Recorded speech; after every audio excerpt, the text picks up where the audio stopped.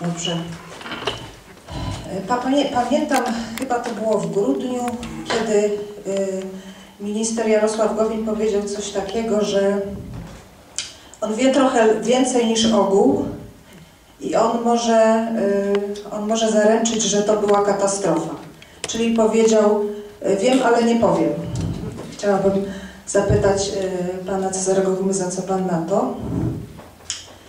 Jeszcze y, jedna sprawa, bodajże w środę nadchodzącą y, w, na Czerskiej. Nie wiem, czy pan te progi przystępuje ostatnio.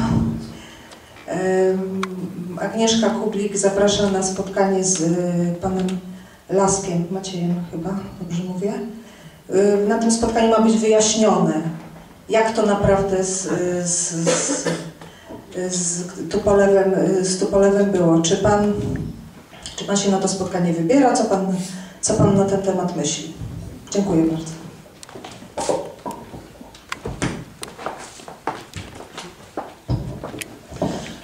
Jeżeli chodzi o wypowiedź ministra Gowina, ja nie jestem w stanie się do niej odnieść, bo no, to jest rzeczywiście wypowiedź wiem, ale nie powiem. No. Ja nie wiem, co wie minister Gowin, natomiast ja mm, od początku uważałem, że hipotezę zamachową należy traktować zupełnie poważnie. Natomiast jeżeli chodzi o spotkanie z e, Maciejem Laskiem, no to ja uważam, że członek, e, on był zastępcą e, w komisji Millera, że ta komisja się totalnie skompromitowała. To znaczy połowa tego raportu na pewno już się w tej chwili wydaje, nadaje wyłącznie do kosza, dlatego że kolejne e, rzeczy odkrywane przez dziennikarzy, w tym przeze mnie, e, walą po prostu w podstawy tego raportu. To znaczy, jeżeli udało się ustalić, e, co również opublikowałem jako pierwszy, że e, generała Własika nie było w kokpicie, nie było w kabinie pilotów, a to jest jedna e, z TESO w e, komisji Millera, bodajże napisano, że stanowiło to element presji pośredniej obecność Własika na pilotów. Druga rzecz, jeżeli e, wykluczono zamach na podstawie tego, że rzekomo nie było tam materiałów wybuchowych, a w tej chwili wiemy, że one były.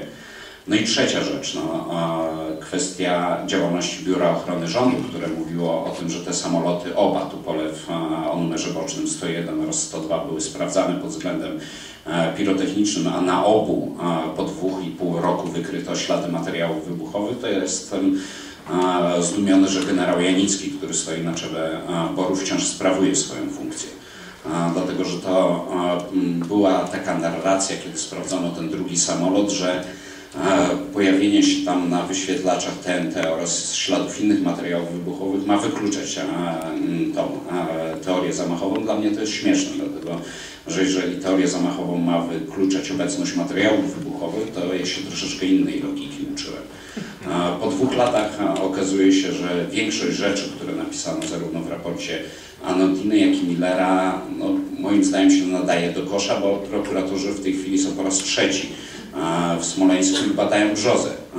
Prawie, prawie trzy lata już mija, co oznacza, że jeżeli wykryją, że ta brzoza nie została złamana przez ten samolot albo że nie była przy, przyczyną katastrofy, to do, dokładnie cały raport Anodiny i Millera będzie można wy, wyrzucić do kosza.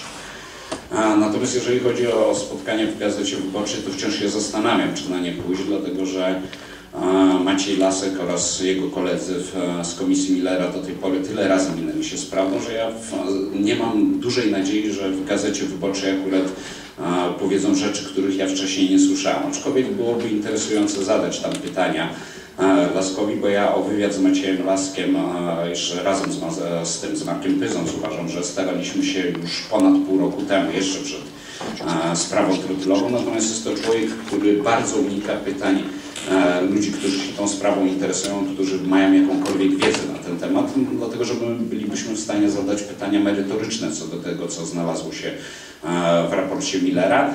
E, Pytania, których na przykład nam nie pozwolono zadać na konferencji po ogłoszeniu e, raportu Millera. Mnie pozwolono zadać jedno pytanie i musiałem je powtórzyć pięć razy, żeby uzyskać na nie odpowiedź. Byłem odciągany przez rzeczniczkę Ministerstwa Spraw Wewnętrznych od mikrofonu, żeby mnie docisnął Millera w tej sprawie. Chodziło konkretnie o obecność boru na płycie lotniska w Smoleńsku oraz przebadanie pod względem pirotechnicznym terenu lotniska oraz terenów go otaczających.